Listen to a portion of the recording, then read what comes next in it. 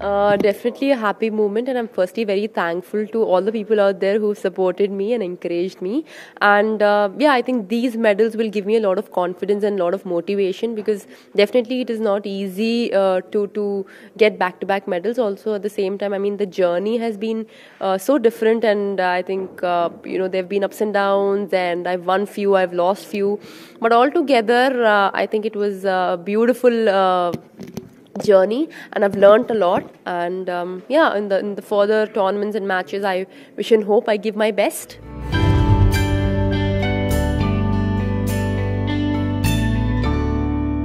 yes definitely i'm the first woman and it's I, I really feel happy about it. Also to all the women out there i'm sure i think women are doing really really well.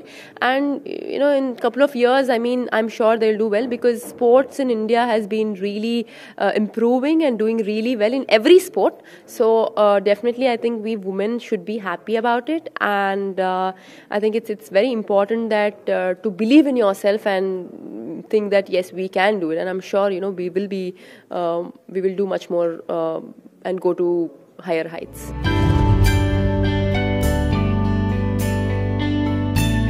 Yeah, definitely. It's it's uh, very different compared to before Olympics, and due to this pandemic, also you know a year got postponed. But uh, it was very important to to maintain that fitness levels, mentally strong, physically strong, and also of course you know going into Olympics, we had to take care of ourselves and also be in a bubble. And obviously, I miss the fans and spectators, but I think it was very important for everybody to to to uh, just be uh, focused and to athletes especially because I understand since a year got postponed I mean it was very important to be focused and keep practicing hard. But i think altogether i would say uh, in this pandemic i i think i've utilized it in a very good way because i've got enough time to actually focus on my skill and technique. And since tournaments got cancelled i think it was a good thing because uh, i've got a lot of time to spend in my technique and skill and my coach really helped me. So I think it was very, it is very important that you stay safe. Also, at the same time, you you know you keep uh,